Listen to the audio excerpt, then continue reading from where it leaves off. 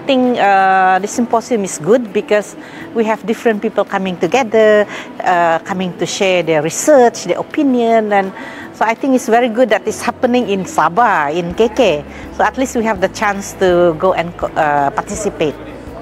So I'm very happy um, to participate or invited as one of the speaker in the symposium because from this platform I can introduce to the public what UMS actually doing, how we engage um, with the community and what engagement, what kind of engagement we are doing with the community.